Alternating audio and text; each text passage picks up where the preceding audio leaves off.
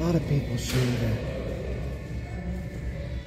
money is the root to all evil. Or the love of money is the root to all evil. Well,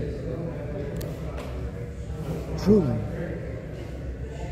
it's not loving to have money that's evil. Greed is the root that produces the evil. And greed is caused by lack of a mindset.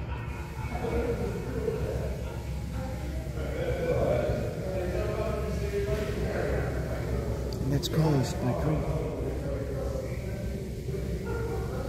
From certain individuals trying, trying to keep it all for themselves